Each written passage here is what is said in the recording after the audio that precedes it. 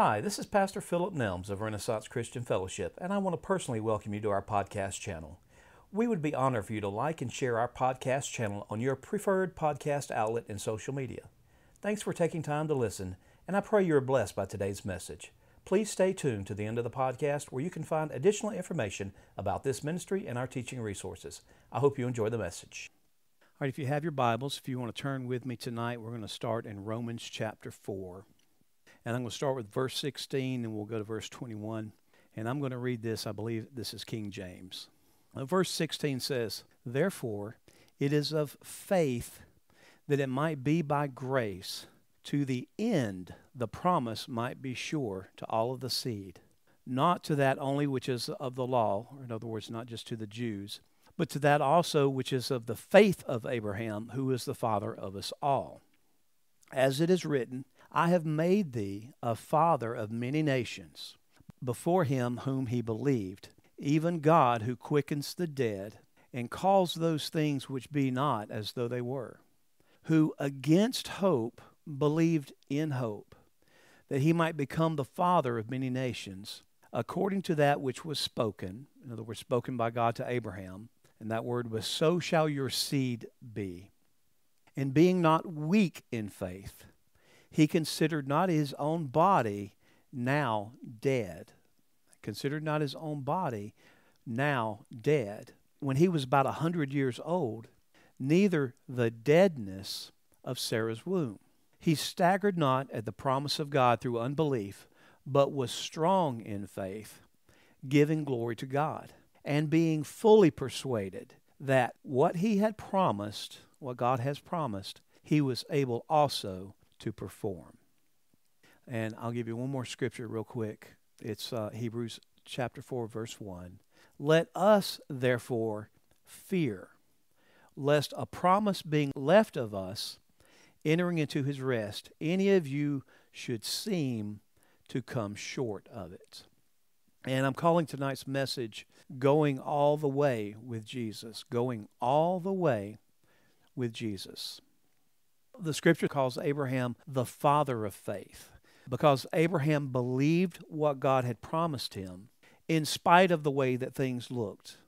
Abraham and Sarah stood and they believed God for years into their old age. And like that scripture said, they were 100 years old when the Lord gave them this word. But he stood on the promise and he believed God even when the scripture says his, his body was dead. Okay, what that meant is because of his old age, his reproductive ability was now dead. And the same was true for old lady Sarah, his, his wife. All right, they were dead in their bodies as far as their natural ability to reproduce. But the promise of God to them was that you'll have a son, and your seed, your children, will be uncountable like the stars in the sky. And so, even being dead, in the body, Abraham chose to believe what God had said. So Abraham never quit on God. Abraham and Sarah believed God and took him at his word. They believed the impossible even though they were already dead in those parts of their bodies when God spoke this to them. And the word says that Abraham was fully persuaded. He was not half hearted, he was not double minded about God's promise. And the scriptures say that Abraham's faith was accounted unto him by God as righteousness. Okay, that simply means that God saw his faith and he said, now this is the right way to do it. Okay, this is what I'm looking for. It was right. And uh, the scripture says Abraham did not stagger, he did not waver.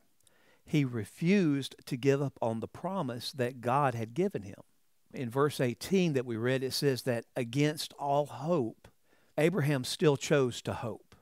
He believed with expectation that what God had spoken to him would come to pass, even if their bodies were already dead. You see, death is not a deterrence to answered prayer because Jesus said, I am the resurrection, I am the life.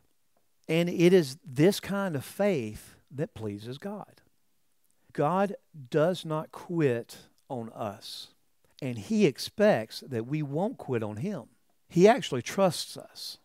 He believes when He tells us something, He can't doubt. He believes that when He tells us something, we will do it. And so when we see things that are taking longer than we thought it would, and when our plans or when our circumstances don't seem to line up with what God said, God still expects us to believe Him. So we know, according to the scripture, faith comes by hearing the Rhema word, or in other words, the spoken word of God to us. When God speaks to us, faith gets birthed on the inside of us. See, God's Rhema word is the seed that produces faith. But that seed of faith has to be guarded. That seed of faith has to be watched over. Just because you received faith about something that God spoke to you doesn't mean that it still can't be aborted. Your faith will get tested, it will get tried by the enemy. You will be tempted to quit and to give up before the finish line. But when we refuse to quit, we win. See, when God spoke that word to you, He already saw the end from the beginning. He already saw the conclusion. He just needs you to stay in the race. The, a simpler title for tonight's message would probably have just been Don't Quit. Don't quit. But people ask questions like, But what if it doesn't happen? Okay, what if I believe God and He lets me down? Okay, but that question in itself demonstrates a person's double mindedness about God's faithfulness. God is faithful, and He does expect the same from us. So, what if you don't see your promise right away? Or what if it's a long time? Or what if it never comes to pass? Well, if you heard God and you stayed in faith and you continued to trust God, that's what pleases Him. See, we think getting the thing is what makes God happy. But it says it's faith that pleases God. Staying in faith, being faithful, and believing Him is what He likes. God rewards the faith. Even if we die, we better die in faith. You don't want to die any other way. So even if you didn't get to see the end of your faith in this life, God still rewards your faith. Faith is an eternal thing. And so faith will continue to live on past you and me. God will honor faith in the earth even after we've died and moved on. See how the scriptures kept saying he was dead. They were dead. Their bodies were already dead. Like Abraham and Sarah's dead bodies, being dead doesn't change a thing. Hebrews 11:13 says this. this. Hebrews 11 is the scripture's faith hall of fame. It says these all died in faith, not having received the promises, but having seen them afar off and were persuaded of them and embraced them and confessed that they were strangers and pilgrims in the earth. They were persuaded, they embraced it, and they confessed because that's what faith does. That's what faith is. Abraham was said to be fully persuaded. Okay, when we are fully persuaded, that's it. Okay, there's there's no other option. Okay, there's no plan B for you. You know what you've heard, you know what God said, and you're not going to back off of it. Still in Hebrews chapter 11, let me read verses 35 to 40. It says, Women received their dead raised to life again. Others were tortured, not accepting deliverance, that they might obtain a better resurrection. Faith in the earth helps to promote us in the afterlife. Others had trial of cruel mockings and scourgings. Yes, moreover, bonds of imprisonment. They were stoned, they were sawn asunder, they were tempted, they were slain with the sword.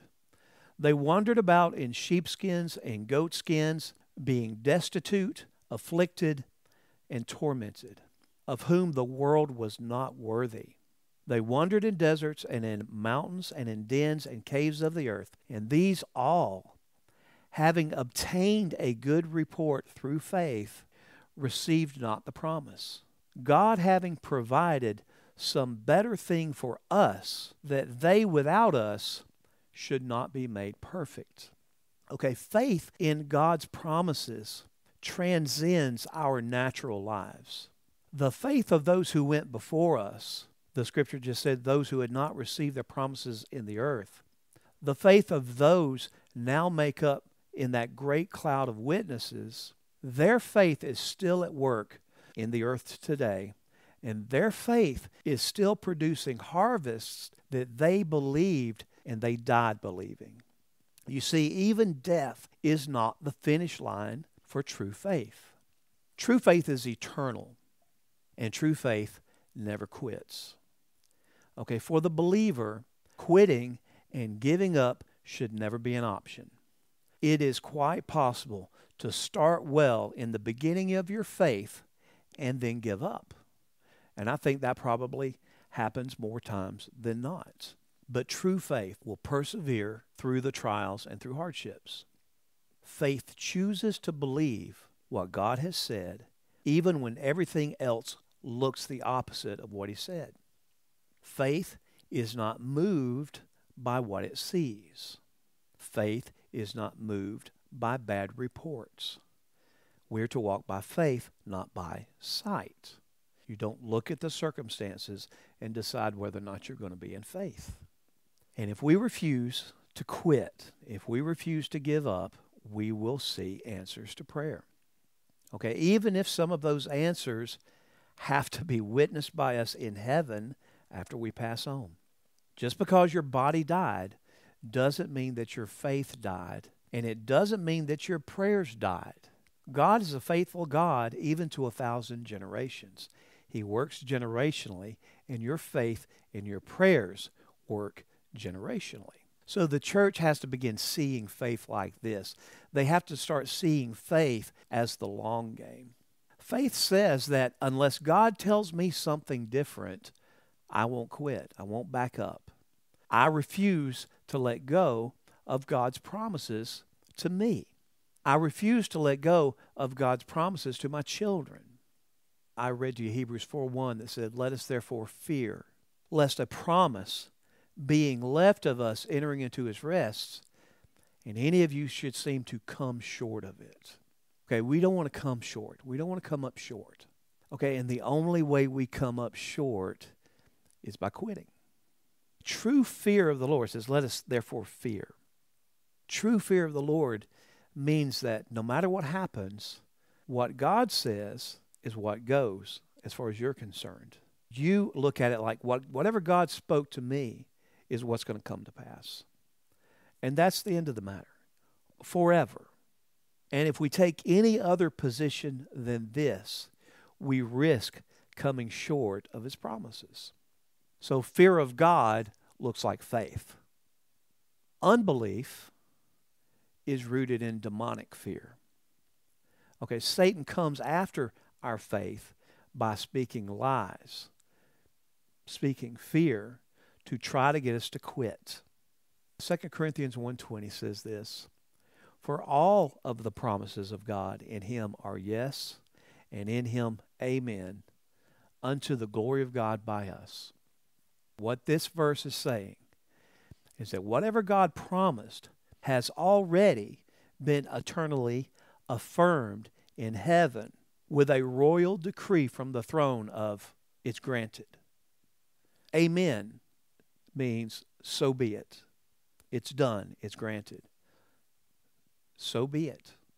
Make it so. Make it so, number one. All right, God is faithful to us. And we have to get that settled in our hearts that He's faithful. And if you don't, then when the wind comes, when the waves come, and when things get hard, we'll faint if we don't have it settled. But the Lord said in His Word that we will reap. Didn't say you might reap. You will reap in due season if you don't faint. And that just simply means we don't quit. We don't throw away what He said. So don't quit. Quitting must not be an option for a faithful follower of Christ. Okay, Jesus said to us, He would never leave us nor forsake us even until the very end of the age. That means Antichrist time, up to the millennium. He will never leave you. Up to death, He will never forsake you. He's faithful. He promised that He would go with us all the way. So we have to be of the same mindset that no matter what comes, we are going to go all the way with Jesus, even if it comes to the end of our life. You have to play this the long game. It's, it's like marriage, it's supposed to be till death do us part. Faith is the same way. Now, you and I know that Satan is going to try whatever he can to try to get you to give up and to quit. He doesn't want to see answers to prayer. All right. He doesn't want faith to produce anything of God in the earth because every gift from God is a good gift to us, and so that's bad for him. So when faith has come to us by Rhema, and like Mark 11, 23 and 24 says, we receive the promise. Uh, we believe that we receive it even before we have it, before we see it. And that faith has come into our heart. Satan knows it. He knows true faith. Like the parable of the sower, the parable of the soils, you know, the seed that was, this is not in my notes, seed that was sown on stony ground, he snatched that up immediately. He knew there was not going to be any faith there. He stole it before it ever it went into the ground. The next three soils were the only ones that would have produced, and those are the ones that he came after. So when faith has come by Rhema, we believe that we receive that promise even before we see it, and Satan will come to try to steal the harvest before it can produce. But he can't stop the answer. He can only tempt you to give up and to forfeit your answer before you get it, before it comes to you. So he comes to talk us out of it. All right, well, just like faith comes by hearing the rhema of God, which will bring a good harvest, the opposite's also true. Fear and doubt and unbelief comes to you by hearing, and hearing by the rhema of Satan. His, his words spoken to you, if you'll listen to him. So don't listen to him. Okay? Don't let him plant tares of, of worry and doubt and unbelief into the soil of your heart. Because if you do, then those seeds will grow up and it will choke out your faith. But if you will watch over your heart, Keep it clean with the word. Keep it clean with prayer. Keep it soft towards God. Keep the tares out. Then the end of your faith will become sight. You will see the promises of, of God come to pass. You will see your answers to prayer. And that's why we were warned in Hebrews 10:23 it says hold fast, hold on to it, the profession or the confession of your faith without wavering. For he, for God, is faithful that promised. There is a war for your faith. And because we have this enemy, we have to guard our hearts diligently in order to see our expected end. When anything comes to tell you that God doesn't hear you, or that God doesn't answer your prayers, or that God doesn't heal you, or that God doesn't prosper you, you will have to cast that down. Those are tares. That is the enemy trying to talk you out of your faith. You cannot listen to that stuff and expect that your faith will not be affected by it. So faith must be guarded. And you cast down those lies just like Jesus did in the wilderness when he was tempted of Satan. And he spoke to him what the word says. It is written. It is written. He spoke to the enemy, he spoke the word, and he cast it down. You have to be ready for that. We are warned in Scripture to guard our hearts from the enemy's lies. And we do that by meditating on what God has said instead of what the enemy is saying, and even what our eyes might be seeing at the time. You really have to guard what you listen to, what you see, what you hear. And then we have to use the Word of God to cast down those thoughts that don't line up with what God said. And of course, we never quit. We never quit. So we're to guard the eyes, guard the ears, and guard our own mouths. Meditate on the truth of the word. Keep it before your eyes and speak the word only. And then using our mouths, when vain imaginations, when high thoughts come against you, when the lies of the enemy shows up, they're trying to choke, they're trying to displace that word of promise. Use your mouth, cast it down. Use the word. All right, Colossians 2 8 says, Beware lest any man spoil you through philosophy and vain deceit, after the tradition of men, after the rudiments of the world, and not after Christ. All right, Satan will try to use people to talk you out of your promises. He'll use good people. He will use well meaning people. He'll use friends who are just trying to look out for you in your best interests because you're not smart enough to know any better in their eyes. Okay, but if you let their words get down inside of you, they will choke out your faith. Be careful who you allow to speak into your life. Faith doesn't quit. Faith doesn't quit. Laziness quits. Laziness will quit. Hebrews 6 11 and 12 says, And we desire that every one of you do show the same diligence to the full assurance of hope unto the end, that you be not slothful. In other words, don't be lazy, but followers of them who through faith and patience inherit the promises. Impatience is an outflow of laziness. Lazy people are always in a hurry. Okay, they don't take the time to, to slow down enough to do a good job because they just want to hurry up and be done with it. And so it is with those just like that who give up on their word from God. That there's a lack of patience and they just want to get on with it. Faith has to endure to the end. We have to stay patient until the end of the thing comes. Offended people will quit on the promises of God. Satan will lie and tell them that it's not working and that God didn't hear them and that they really didn't hear God. And then he'll send people along to reinforce that. And he'll send along some bad circumstances to reinforce that until you get angry, until you get offended. And those lies and the circumstances will get down on the inside. It causes people to become offended with God when they don't see it happening right away. Mark 4:17 says, "And they have no root in themselves, and so they endure but for a time, and afterward when affliction or persecution arises for the word's sake, immediately they are offended." All right, when people have no patience to carry their faith to the end, they get offended with God when they don't see it quickly enough, and they quit. Now, Jesus called this the stony soil of the heart. This is again from the parable of the sower. In other words, their heart is still carrying a certain hardness towards God, and specifically concerning or believing in his faithfulness. So when things start to look like they're going to go the wrong way, or it didn't happen like they thought it should, or it didn't happen quickly enough, they get mad at God and they quit. And that seed of faith that was planted in them by God will die and never produce the intended results.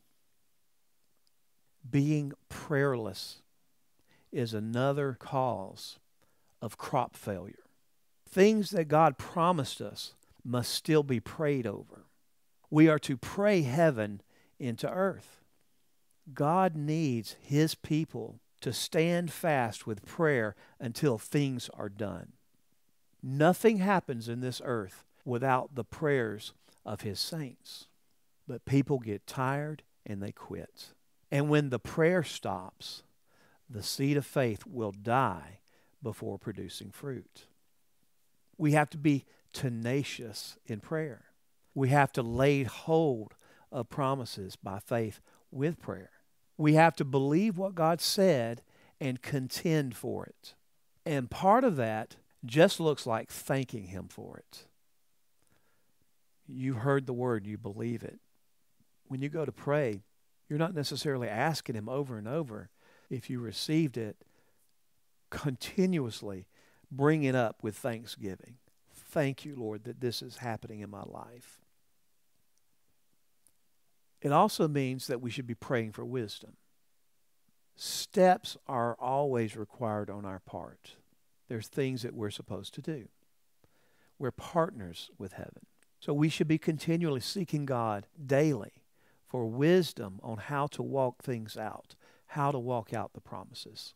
Sometimes he'll tell you to do something, sometimes he'll tell you to wait. You need to know. And this takes patience, it takes perseverance. You cannot get tired and quit. Quitting cannot be an option for you. I'm going to read another parable from Luke chapter 18, if you want to follow along, starting in verse 2. Read 2 to 8. This was a parable of Jesus about um, an unjust judge. Chapter 18, verse 2 says, There was in a city a judge which feared not God, neither regarded man. And there was a widow in that city, and she came unto him, saying, Avenge me of my adversary. And he would not for a while. But afterward he said within himself, Though I fear not God, nor regard man, yet because this widow troubles me, I will avenge her, lest by her continual coming she wearies me. And the Lord said, Hear what the unjust judge said.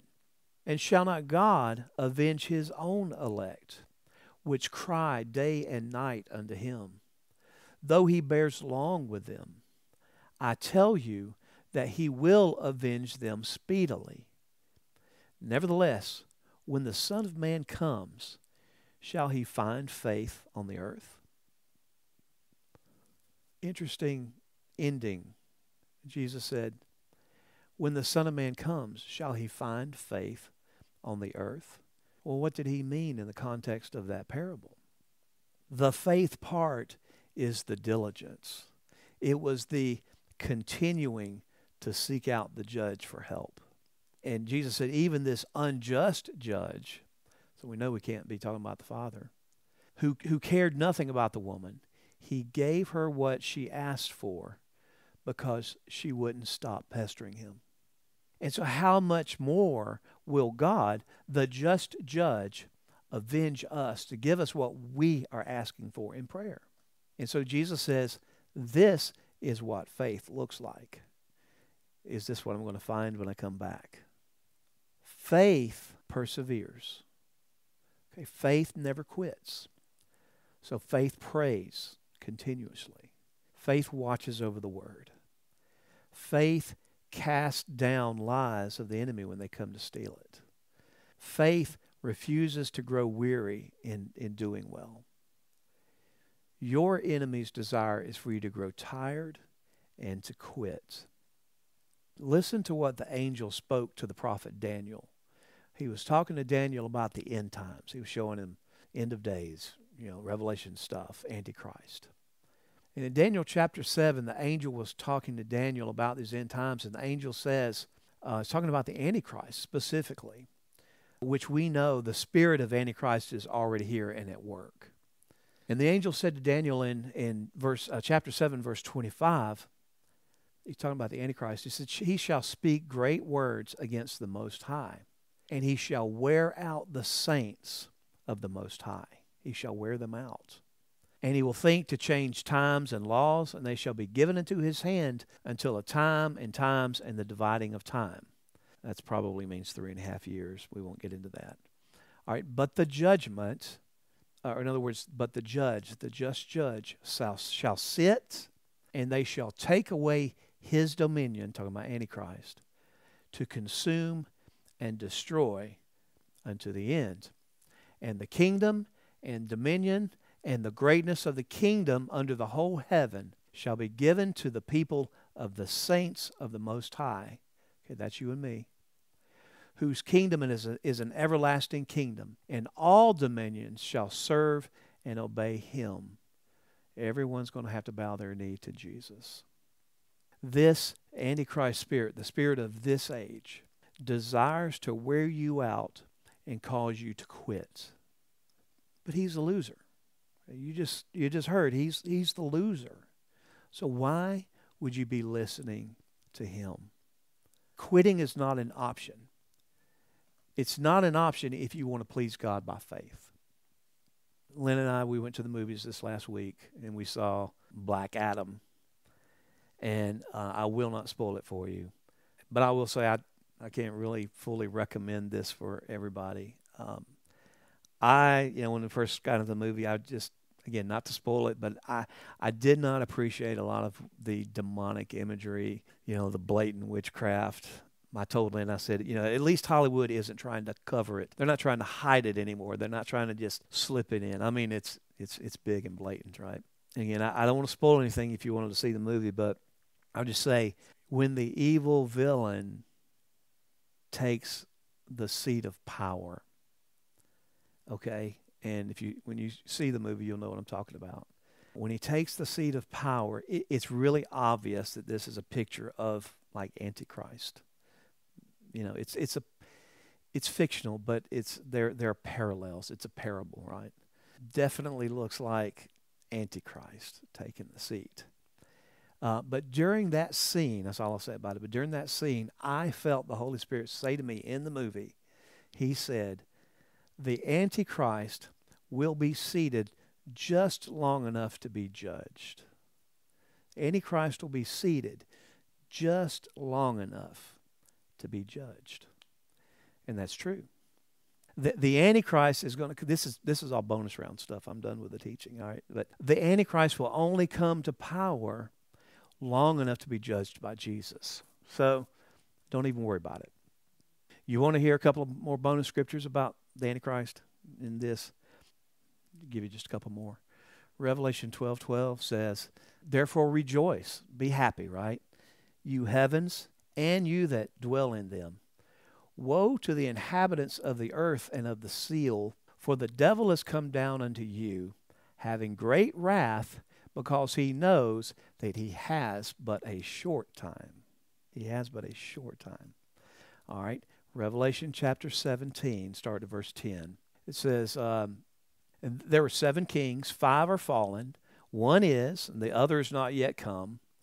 And when he comes, he must continue a short space. And the beast that was and is not, even he is the eighth, and is of the seven, and he goes into perdition. And I know nobody understands all this. and then the ten horns which you saw are the ten kings who have received no kingdom as yet, but will receive power as kings one hour with the beast. Short time, very short time. These have one mind and shall give their power and strength unto the beast. These shall make war with the Lamb, and the Lamb shall overcome them, for he is the Lord of lords and King of kings. And they that are with him are called and chosen and faithful. So this is this is just a good place to close on this. All right, the bad guys are going to eventually take the seat of power, but it will be just long enough to be judged by the King of Kings, by the Lord of Lords, and it says by the ones who will be with him, who are called chosen and faithful. Hey, that's you. That's us. Uh, we get to kick the Antichrist butt with Jesus. So, how cool is that? Amen. Friend, if you've never made Jesus your Savior and Lord, would you please do it today? You can't afford to put it off one more minute. Your eternal destiny depends on knowing Jesus. Whatever situation you may be in, Jesus can take your life and make something beautiful of it. Jesus said, I am the way, the truth, and the life, and no man comes to the Father except that he comes through me. And Romans 10:9 tells us that if we confess with our mouth that Jesus is Lord and we believe in our heart that God raised him from the dead, that we shall be saved. So if you would like to know him, repeat this prayer with me today and really mean it from your heart. Say after me, Jesus, I choose this day to make you Lord of my life. I believe that you are the Son of God, sent to the earth to pay the price for my sin by your death. I believe that you were raised from the dead and that you are alive today in heaven. Please take my life and do something great with it. Friend, if you prayed that prayer with me today and you meant it, then today is your birthday. Today is the day that you were born again into eternal life. We suggest that you find a good Bible believing local church where you can connect with other Christian believers and grow in the Lord. Thanks again for tuning into our podcast. This message has been brought to you today free of charge by the friends and ministry partners of Renaissance Christian Fellowship. If you've been blessed by this ministry, would you please consider partnering with us to help send the gospel message to others around the world? For more information on how to donate to this ministry, please visit our Facebook page, www.facebook.com forward slash RCF World, or you may send us an email at contactus at rcfworld.org. Again, that's contact us at rcfworld.org. You may give by debit or credit card directly at paypal.me forward slash rcfworld. Again, that's paypal.me forward slash RCF World. Thank you for helping us to promote the gospel of Jesus Christ around the world.